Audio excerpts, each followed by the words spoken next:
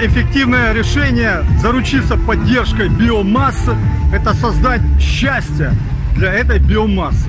Чем является этот обезьянник?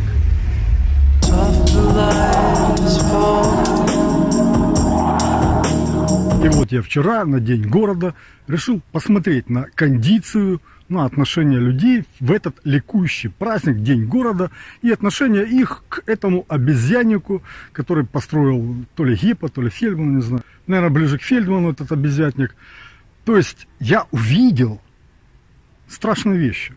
То есть толпа стала, пришла и как бы ждет, что из этих играющих обезьянок вылетит какой-то общественный оргазм и придет к ним, посетит их и воодушевит, благоволит их так, что им все позавидуют, что они сейчас, right now, находятся здесь, на этом месте, стоят, какое счастье, люди все кайфуйте, люди всего мира, всего Харькова завидуйте, что мы, они здесь, на этом месте стоят и смотрят на этот обезьянник.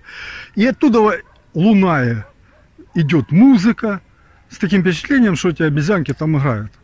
Ну, а если разобраться, и люди стоят и в своих головках праздничных начинают до них что-то доходить, разбираться, что, ну, кайфа не вылетает, оргазма не вылетает, они от этого не пьянеют от счастья, от ража, от какой-то там вообще ностальгии, там плачет, может кто-то там совок вспомнил детство, в мире животных, Зинкевича и тому подобное. То есть до людей начинает допирать, что их вделали, их, ну, как лохов, чуток развели, что такая хрень, эти обезьянки, всякие повара там стоят в каждых кулиничах. И это не какая-то там супер интересная аттракция, аттракшн для людей, чтобы их воодушевить, чтобы удивить их чем-то. Абсолютно. То есть такого полно в каждых кулиничах. То, то есть уже вообще ничего интересного в этом нету. И мало того, кроме того, такое чудилово, как детский аттракцион, должен стоять, ну, или где-то на детских площадках, а скорее всего этот обезьянник должен стоять, ну, возле обезьянника в зоопарке. Вот ему сам там место раз, а не в культурном месте возле лебедей, красивейших лебедей, за которых спасибо Харькову, харьковчанам, потому что с их податков, с их карманов. Эти лебедя, конечно, на откатах огромных были там инсталлированы. С одной стороны, конечно, прикольно наблюдать было за этой экзальтацией общественной, коллективной, но с другой стороны, очень неприятно, очень смутно, очень противно смотреть на людей, которые ведут себя как ну, примитивные те же самые, которые... Они, кстати, я думал, там хотя бы они, как светомузыкальный фонтан, там под музыку, движения какие-то, свет там вылетает. А нет, там еле-еле там одна обезьянка там что-то рукой водит, и все. То есть, ну, кидалово очередное. И они приходят туда в надежде, что оттуда вылетит кайф для них. Вот так вот. Вот за что погибают, отдают свою кровь бойцы на фронте вот, вот за такую чушь у людей, у народа. Когда эта чушь, грязь, чморовство, коллективный лоховизм закончится у народа, стоит только гадать и молиться, чтобы он скорее наконец-то закончился. Это хрень совковая.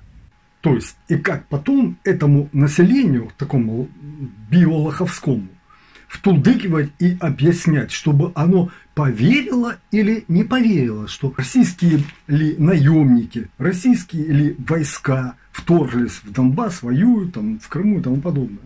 Или не российские. Российское это оружие или не российское. Вот они верят или не верят. То есть, и это, эта биомасса потом голосует и выбирает тех, которые разваливает потом или не разваливает наше государство Украина.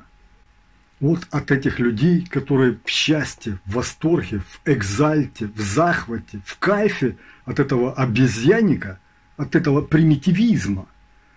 Примитивная масса от этой примитивной массы и зависит будущее детей наших государства.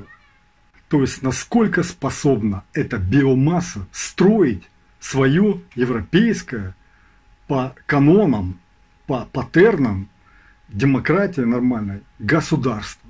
Насколько она способна, насколько у нее мозжечок работоспособный в этом строительстве.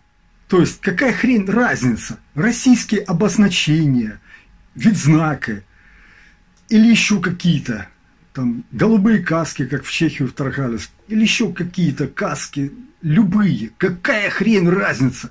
Оккупант, он и в Африке оккупант. Он везде оккупант, и его нужно уничтожать.